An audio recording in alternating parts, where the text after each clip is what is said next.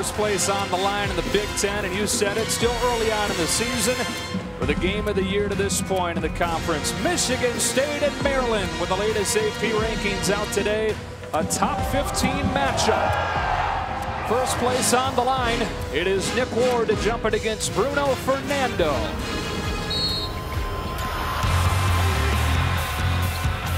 McQuaid tries. That's time he got it.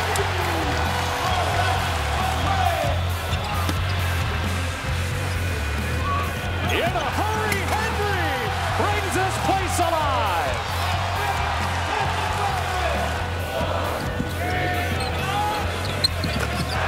Gabe Brown off of the bench, hit a three. So far, Maryland below 30%. Goins fires away and knocks it down. And a 15-2 run for Michigan State. So Wiggins will try it and knock it down.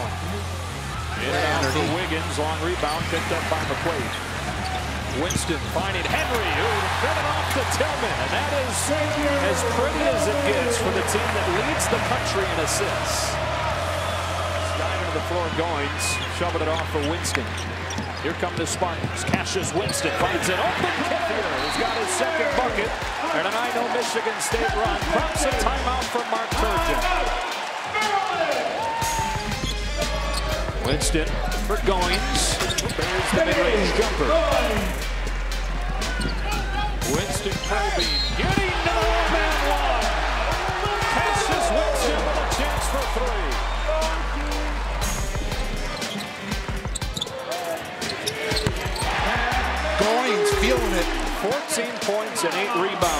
fifth-year senior. Fernando tips it to keep it alive. Ayala now penetrates and gets blocked from behind. That starts a fast break with the Spartans have dominated tonight. Henry for two more. Wow, Brazil got mugged. Tillman was over to reject it. Winston behind the back, into the lane, off everything. Michigan State just keeps on rolling. 17 and 2, 8 and 0 in conference play, and a 20th consecutive Big Ten win for Tom Izzo and the Spartans. A well-oiled machine, Joe. They're hitting on all cylinders.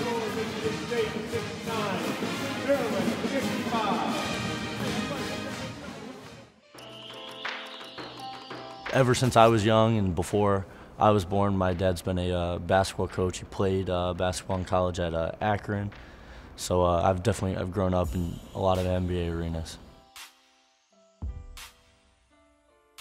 I was born in Cincinnati, Ohio, and he was uh, assistant coach there for a few months, and then we actually moved to uh, Portland, Oregon, where my dad took his first NBA job.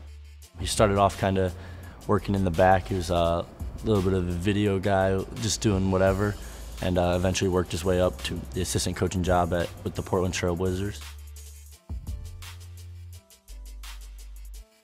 Basketball was something I was always around. You know, it was something I kind of fell in love with at a real early age. And um, you know, after every game, the lights would be off, and they'd lower the rims down to about three feet or whatever they'd been down to, and that was when I was, I mean, real little. So that was when the first time I had really started shooting. I'd pick him up from school and take him uh, to the gym. He was a ball boy at really every NBA stop that I had. Uh, I'd get him straight out of school, try to feed him on the way, take him with me four hours before the game, and he was pretty much in the arena, just turned him loose. Uh, from training rooms to locker rooms to coaches' meetings to being around uh, some of the best players in the world. He saw how much fun the guys had. He saw the facilities. He saw probably the crowds. Uh, you know, he got to meet guys and players and coaches that he'd see on TV once he got a little bit older and realized who they were. In Philadelphia, I got to see the kind of ending years of Allen Iverson uh, there, and got to know him, and it, you know, it was just it was fun growing up with uh, growing up with your your role models and the famous athletes right uh, behind you. So it was fun. Stir them up. Spin around. I'm Cody Milan, number 23, senior on the hockey team. Uh, this is day in the life. It's one of my favorite parts of the day right here. Gotta have the coffee.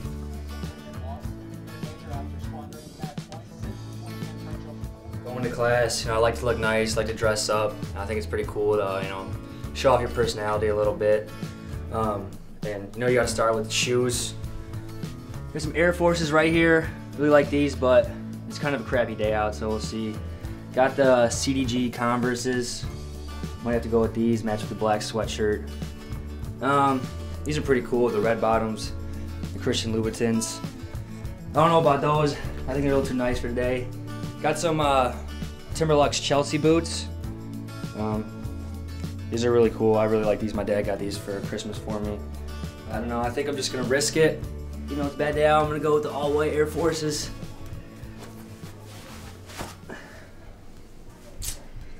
Let's do it.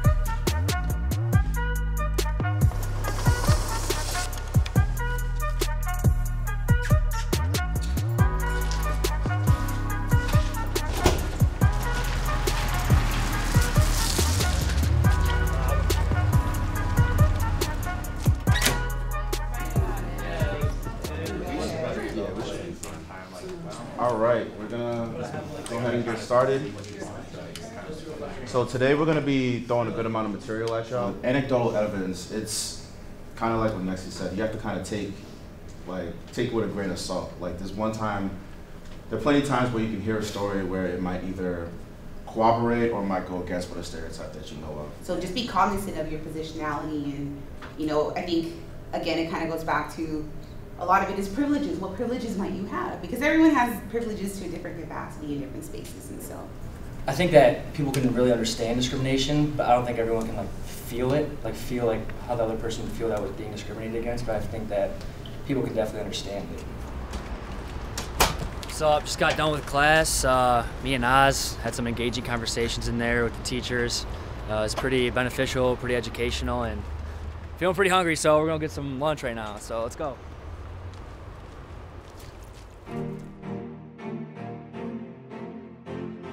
I had originally uh, coached in Philadelphia prior to coming to Detroit, and uh, knew I was going to make the change. Um, I believe he's in seventh grade then. Um, it's tough, you know, changing schools really at any age. I just wanted to make sure I had him settled uh, by his high school years. I kind of promised him that. So I went and I just looked at some of the programs around. I wanted to live somewhere near the Palace, where the Pistons played at the time. I went around and actually watched some practices, watched some games. Uh, you always want to put your, your son or really any player with the best coach or best program possible. And, you know, I stumbled upon Clarkston.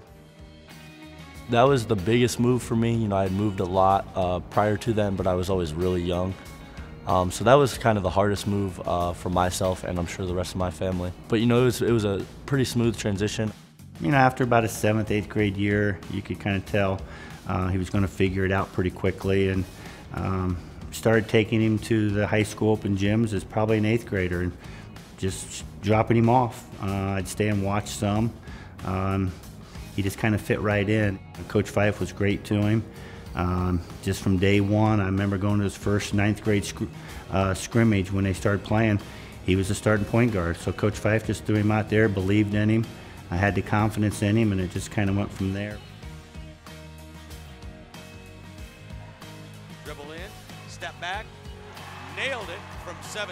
Going into my junior year, you know, I, I really buckled down and f- decided that, you know, that was a state championship. I, like, I really wanted to win one.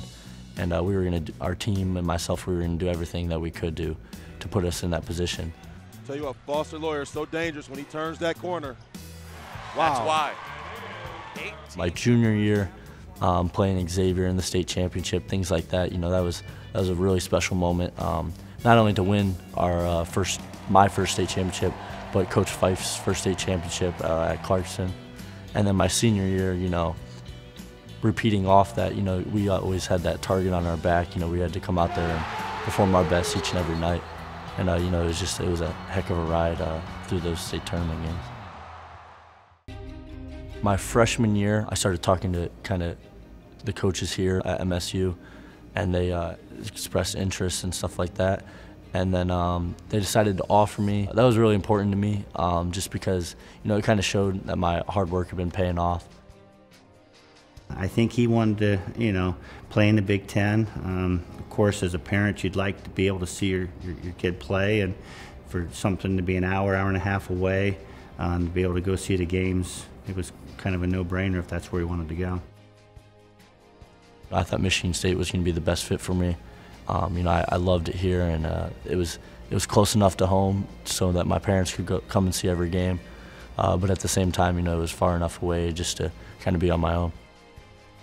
I've known Coach Izzo for a long time. I knew him when he was an assistant here at Michigan State because I was an assistant at Cincinnati, and and just followed him from afar, and um, always been even when we played against him when I was at Cincinnati uh, how hard they play, how together their team is, and and then once they started recruiting him, uh, being around, coming to a lot of the games, football games, just seeing him, the family atmosphere, and they loved the team, loved the community, uh, came back, and just to see all the Michigan State players come back and and you know embrace being a Spartan, just uh, kind of made him feel at home, and that's where he chose to go.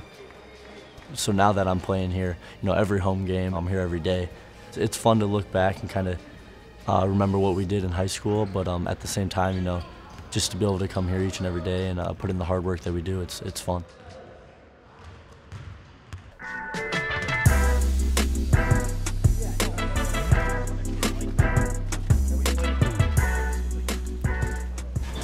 Thirteen, the original Italian. Uh, gonna get it Mike's way. Comes with like a oil and seasoning, lettuce, tomato. I'm gonna go no onion though, not a big onion guy. Pretty good place to eat. Go. Hey, what's up? i My time has come. My time has come. We got my roommate over here, number four, Anthony Scarcella, junior defenseman. What's going on, guys? Um, call him Scarce or Scarcy. Big cook, big cyclist, and fun fact, this guy's been my best friend since uh, seventh grade. What'd you say? So the big leagues. Yeah. Dana Life and the radio show. Have um Jeff Scars tell you a joke. Pretty funny guy. So I don't think a lot of people even realize like how close me and Scars actually are. Like, oh, yeah. I mean, guys get here like the freshmen come in, and like oh like Scars and Miles like good buddies. Like, and people don't realize that we go back through like seventh grade, like middle school, I high school together, and now we're in college together. Yeah, people when people start seeing pictures yeah. of like how young we actually looked, that's the biggest thing. Or like when we're like when we go home for Christmas, I mean, our family spend Christmas Eve together. Like people are like, wow. It's the first of two meetings between the Spartans and the Wolverines, and today the site is the Crisler Center, where they're expecting a sellout to uh, witness Michigan State and Michigan. This is an all-time series that the Spartans have dominated. They've only lost uh, 19 games total Michigan State has also won five of the last six meetings against the Wolverines, and Michigan State, in four of the last five years, has ended Michigan's Big Ten tournament run. So we are ready for basketball. Gaines passes out of a double team trap and gets it back to McCutcheon. Then to Mardrekia Cook, lets a three fly. Got it! Hit nothing but the nylon. Still looking here. And then tosses to Gaines, who puts up a three ball and rattles it in. Michigan State fight their touch from downtown. Colley crosses over with three, goes to the rack, scoops it up and in to close the first quarter. What a slicing take by Shay Colley to give the Spartans a five-point lead. 10 seconds to shoot. McCutcheon drives and kicks beyond the arc. Five. Colley, topside three. Pang! MSU is 8 of 15 from behind the three-point line of the first half. Colley right wing in the mid-post Allen kicks out to Gaines. Right wing three. Book it right as the shot clock expires. McCutcheon into Allen, makes the catch and bangs it off the window and in. What a miraculous pass by Taryn McCutcheon. Under five to play in the ball game. Michigan State up 63-56. Colley into Mardrekia Cook, steps in from the free throw line, lays it up and in and draws the foul. The buzzer sounds, and it's a victory for MSU. They defeat the Wolverines 77 73. They win in this battle for the sixth time out of the last seven meetings. You got that beautiful, with the kind of thing that comes so.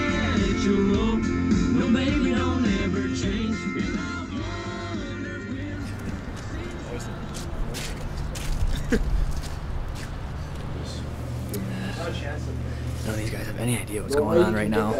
No idea the camera's in here. No way. I don't think he's doing this, man. I think he does it.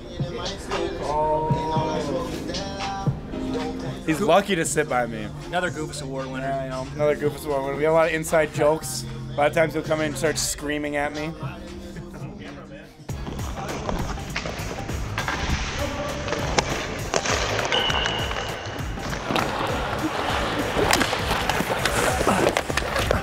Oh, I'm gonna open up for one T.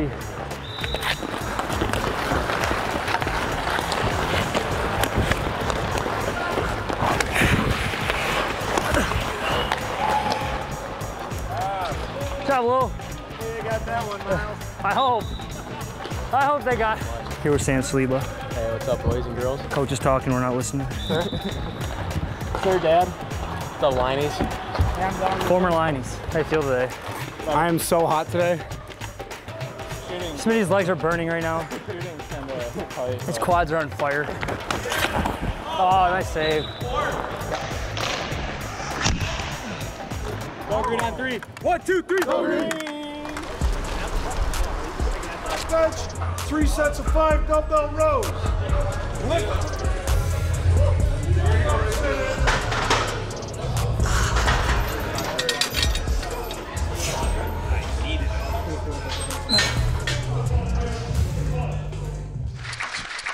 We're joined by Cody Milan now for the Danton Cole Show. Cody, welcome to the show. Thank you, thank you. Hello. Glad to be here. 12 points in the first two seasons. You exploded for 21 points last year, 15 so far this year, more to come, obviously. What's been the biggest difference? I just tried to work on like the mental part of my game, um, trying to stay confident. Um, I think that was a big part. And uh, you know, I think I've done a pretty good job. Take us into the locker room after the game on Sunday. What were you guys like? Obviously, you got to sing the fight song again. Yeah. That'd be pretty exciting for you. Guys. Yeah, guys. no, it was it was uh, electric. I mean, guys were guys were really pumped up, and you know, it's awesome to sing that fight song after, especially after a sweep. All right, I just finished the radio show. Uh, it's been a fun day. Went to class, went to practice, went to lift, and now I'm gonna go back and probably hang out, listen to some tunes, and then hit the hay. Foster came in here um, at about 153 pounds. Um, so not only small, but very slight. And to his credit, I think he's worked his way up to about 166, 67 pounds. And as we say every day, you know, his high school coach felt this way, his dad probably feels this way. You know, what he has to learn to overcome size or strength or quickness or the different obstacles that uh, especially guards have to uh, take upon themselves, he figures it out. You know, coming in uh, and playing with a great point guard like Cassius, you know, I knew I was gonna have uh, my work cut out for me, and um, you know, I think it's just it's been a transition to kind of be able to find your role and uh, do everything you can. Um, but you know, each and every day at practice, you know, I have an opportunity to prove uh, to myself, to prove to my teammates, my coaches, you know, that I can go out there and do my job and help this team win. He's an incredible shooter, and he's very smart with the ball. What he has to figure out is when he has more length on him, more quickness on him. How do you get around that, you know? I would say Cassius is probably the biggest person that uh, you know I talk to and learn from each and every day. You know, at practice and things like that. He's done a great job of help mentoring me to you know try to get where I want to go and try to get where I can uh, help this team as much as I can. But I would also say Matt McQuaid did a great job, you know, this summer, kind of taking me under his wing and uh, showing me the ropes of, you know, with the early 7 a.m. lifts and then um, just kind of the grind of the whole thing and the process that it was going to be on. The work ethic, the passion, the desire, the toughness, and the smarts. There's no question that uh, he's going to be a very good player before he's done.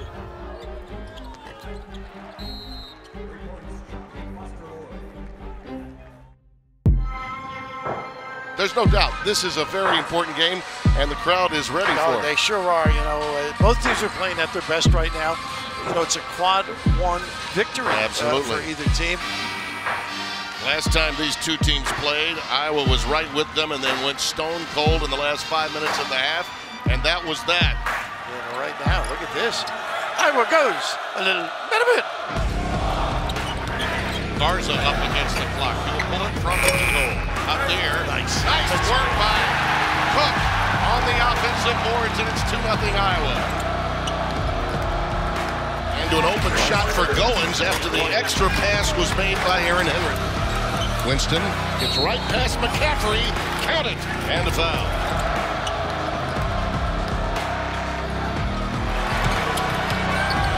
Arns.